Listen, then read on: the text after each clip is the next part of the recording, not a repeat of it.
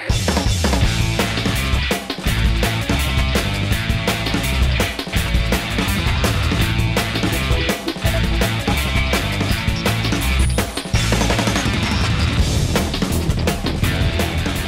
want to tell you a story about Supertramp. No, no, no, not the English rock band that was big during the 70s and 80s.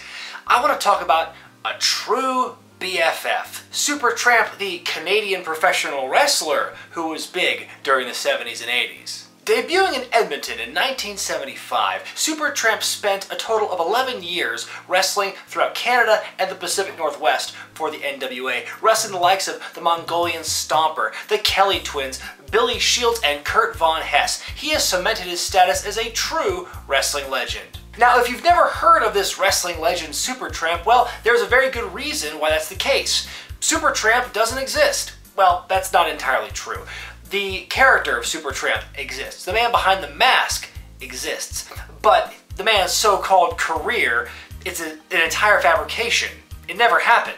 Yet for years, this BFF, this man who goes by the name of Supertramp, has been able to successfully dupe and trick hundreds, if not thousands, of unwitting people into thinking that he is a true old school wrestling veteran. But in reality, all this man is, is a BFF. A big f***ing fraud.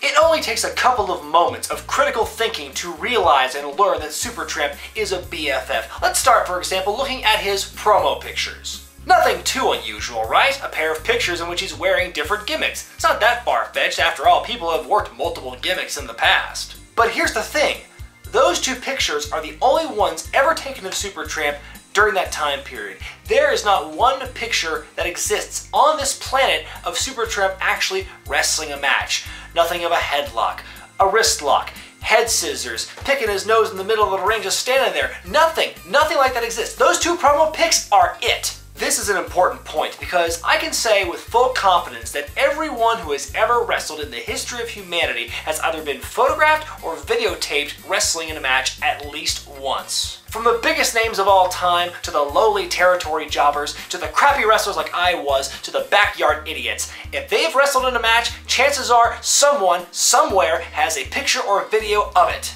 And now that we live in the internet age, no matter how obscure a wrestler might be, there is something on YouTube or something in Google Images that has preserved their moment in the ring for all to see forever and ever. So if you claim to have wrestled for 11 years across Canada and the Pacific Northwest and no one can find a picture or a video of you wrestling, guess what?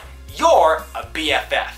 Now Supertramp, whose name coincidentally makes him ungoogleable, has a perfectly reasonable explanation as to why there are no pictures or videos out there of him wrestling. He says that they were all destroyed by a vengeful ex-wife, and those promo pictures are all he has left. So there you have it. Supertramp was the sole owner of every piece of wrestling footage and photography ever taken of him. Not the promoters, not the TV stations, not the fans, not the wrestling rags, no one else. One man, and they were all destroyed by one person.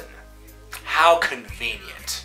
And even if you were willing to suspend your disbelief and say to yourself, yeah, it is possible that he was the sole owner of all that footage and got destroyed by someone else, it doesn't change the fact that Supertramp has never, ever wrestled. Vance Nevada is a seasoned wrestling veteran and a longtime wrestling historian, and he has spent many years compiling results from every wrestling card that has pretty much ever taken place across the country of Canada over the last several decades. Supertramp claims that his very first match was against a man called the Lumberjack in Edmonton, Alberta, Canada in January 1975. Not only does Vance Nevada's research disprove that claim, but it also shows that no one by the name of Supertramp has ever wrestled in Canada at all, ever throughout the 70s or 80s. I suppose it's possible that maybe Supertramp trained to be a wrestler during the 1970s, but I think it's pretty obvious it's as far as he ever got. To my knowledge, all this guy ever did was write for some wrestling publications and carry the boys' bags. That does not make you a wrestler! Several different people have made fan art of this guy. He has wrestled more on paper than he has in real life. He's been inducted into two Hall of Fames, one from a crappy wrestling federation in Washington, and the other from some crappy Canadian fan club. Two, two Hall of Fames! He has a Facebook page with more likes than mine! How does that make any sense? I'm real, and furthermore, I actually wrestled!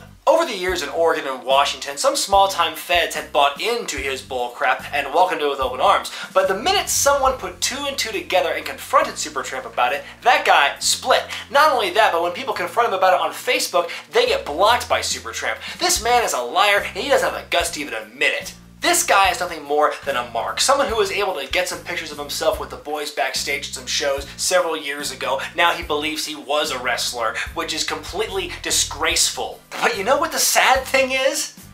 He's not the only one out there. I'm sure every territory in the country has at least one like him, someone who, you know, wrestled very sparingly in their youth and they like to uh, inflate their status to the young, more impressionable wrestlers and fans. Or worse, in the case of Supertramp, someone who never wrestled and yet claims that he's this old school wrestler. There are BFFs all over this country and Supertramp is just one of the many.